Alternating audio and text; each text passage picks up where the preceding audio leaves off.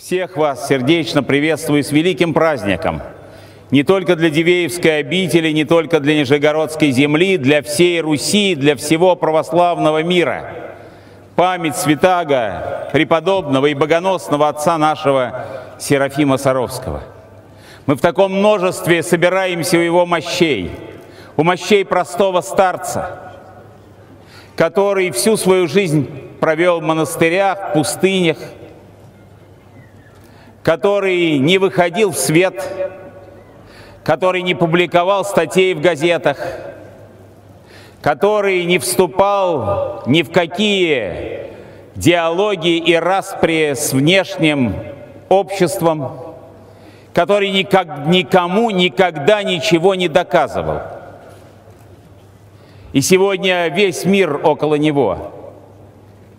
И люди глубоко верующие, церковные – и те, кто только приближается к храму Божьему, кто только начинает чувствовать в сердце своем веру, и высокопоставленные люди, имеющие власть и деньги, и силу, и простые люди, в том числе и убогие, и нищие, инвалиды,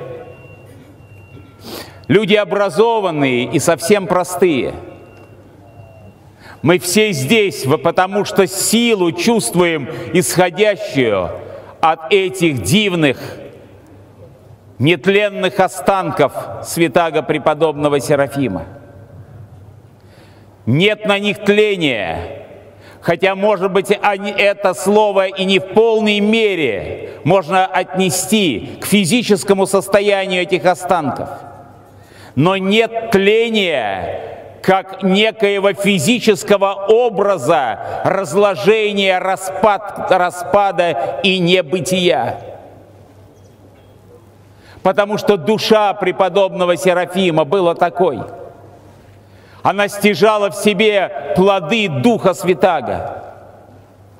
Именно ведь об этих плодах мы и слышали сегодня дивные слова апостола Павла в его послании к Галатам – Плод же Духа есть любовь, радость, мир, долготерпение, благость, милосердие, вера, кротость, воздержание. На таковых нет закона. Что означают эти слова? На таковых нет закона. Апостол Павел обращался к христианам, многие из которых были еще иудеями и которые жили под сенью ветхозаветного закона, и которые свое спасение связывали с исполнением норм этого закона. Апостол Павел говорит, что тот, кто имеет плод Духа, на таковых не распространяются нормы закона. Может быть, его слова имели узкое, ограниченное историческое значение, и их можно отнести только к тогдашним иудеям. Если бы было так, то они бы не были известны всему миру. Эти слова обращаются ко всем людям. Нет закона над теми, кто живет по закону Духа. Закон предполагает ответственность. Нарушение закона предполагает суд. Суд предполагает в случае обнаружения вины наказание. А если над таковыми нет закона, то нет ни суда, ни наказания. Может быть, сказанное относится только к нашей земной жизни – Опять-таки, если бы было так, то не знал бы весь мир этих слов. Сказанное имеет отношение и к жизни вечной. На таковых нету закона, над таковыми не будет и суда, Божьего суда. И мы вспоминаем другое место из Священного Писания, где сказано – что над таковыми нет суда, но они прейдут от смерти к жизни и не будут судимы. Суд есть непременная и очень важная институция в человеческом обществе, деятельность которого направлена на установление правды, на обнаружение справедливости. А человек, который живет под закона, по закону Духа, он вне этой реальности. На него ничто не распространяется. Может быть, такой человек имеет какую-то особую защиту от Бога? Совсем нет. Не сказано об этом ничего. Просто такой человек никогда не приступит ни божественного закона, ни человеческого закона, потому что он живет по духу. Если вы живете по духу, то духом и поступать должны, говорит апостол Павел. Это удивительные слова. Мы знаем, как много неправды в нашем мире, как много преступлений, страшных преступлений. Как общество требует улучшить судебную систему, правоохранительную систему, принять более строгие законы, ужесточить то или другое в надежде, что улучшение всех этих государственных институтов и всех законов приведут людей к их исполнению, улучшут климат в обществе, сделают народ лучше. Это лишь только отчасти справедливо –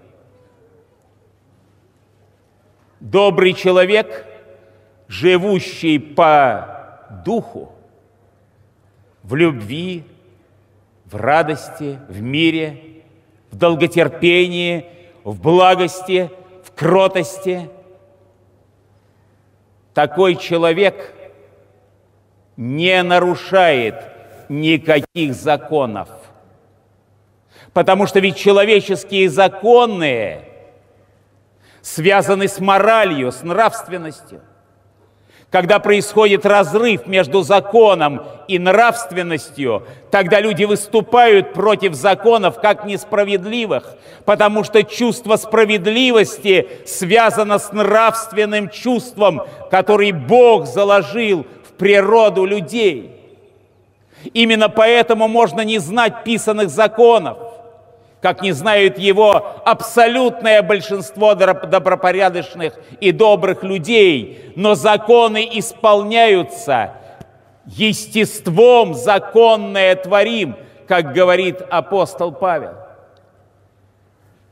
И с другой стороны, что будет происходить, если мы свое внимание будем в первую очередь уделять вот этим человеческим механизмам совершенствования общественных отношений – но не будем обращать на самое главное, на душу людей. Законы будут нарушаться теми, кто их будет прекрасно знать. И род человеческий при всем знании законов будет погружаться в бездну греха и в бездну преступлений. И не надо удивляться, что кто-то, входя в переполненный кинотеатр, начинает открывать стрельбу. Кто-то убивает своих новорожденных детей, а кто-то морит голодом и убивает своих родителей.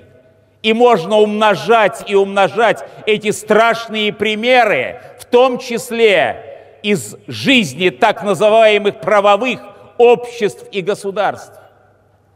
Когда разрушается нравственная основа бытия, то никакие законы не спасут. И с другой стороны, а хоть один закон знал преподобный Серафим? Ни одного. Он, наверное, никогда в руках не держал свод законов Российской империи. Но к нему сам император приехал, склонив перед ним свою главу. Никому в голову не могло прийти, что это незнание законов может повлиять как-то на духовную, внутреннюю жизнь старца или на его отношение к людям.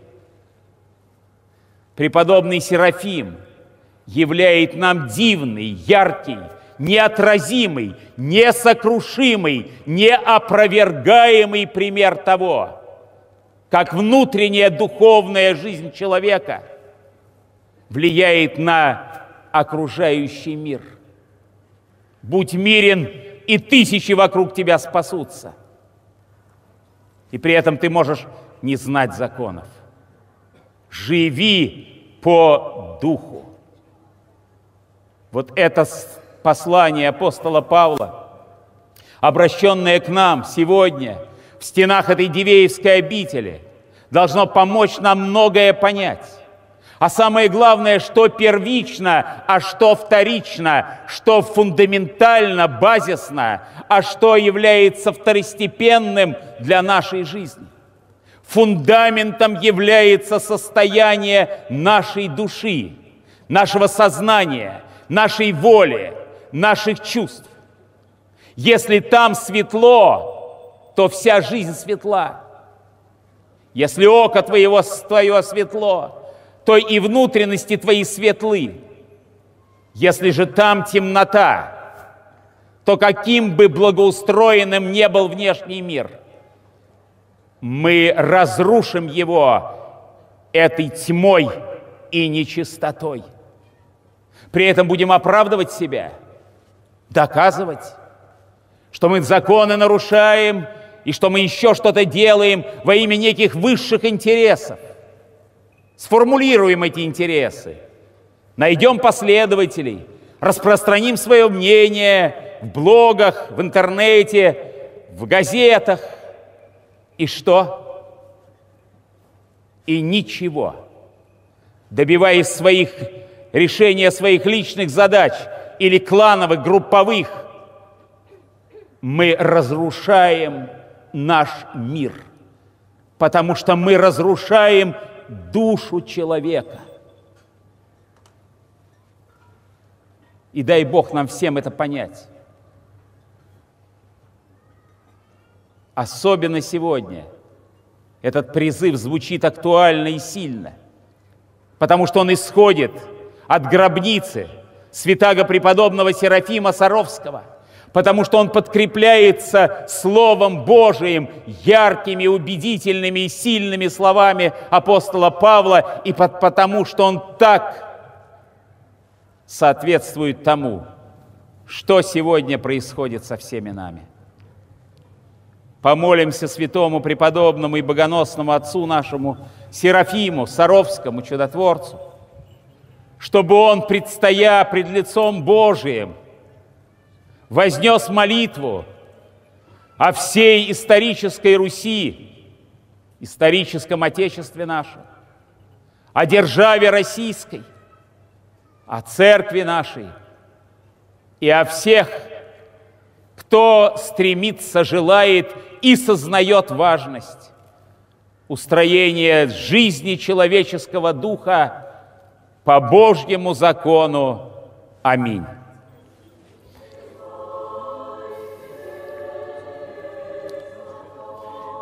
Я благодарю вас, Ваше Высокопреосвященство, сердечно за ваше поздравление и за ваш подарок.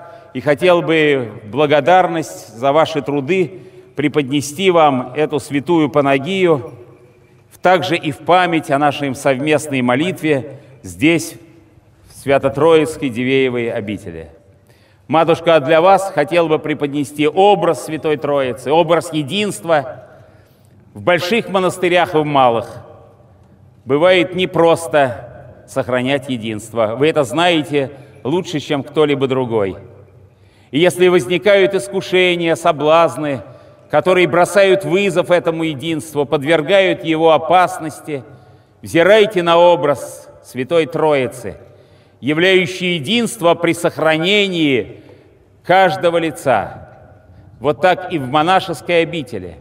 Единство не должно уничтожать и нивелировать личность каждого, кто здесь, но объединять всех в общей молитве, в общих трудах, в общей вере, в общем дерзновенном предстоянии Господу и Его верному служителю – преподобному Серафиму.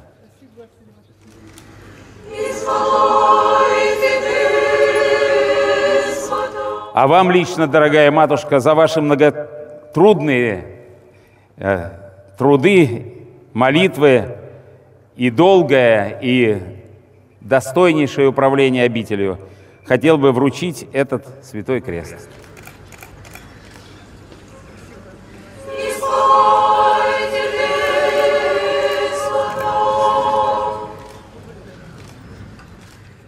Я имею также сегодня почетную обязанность огласить грамоту во внимание к помощи Русской Православной Церкви и в связи с 65-летием со дня рождения губернатор Нижегородской области Валерий Павлинович Шансов награждается орденом Русской Православной Церкви преподобного Серафима Саровского первой степени. Аксиос! Поздравляем, Валерий Павлинович! преподобный Серафим в вашем служении Отечеству.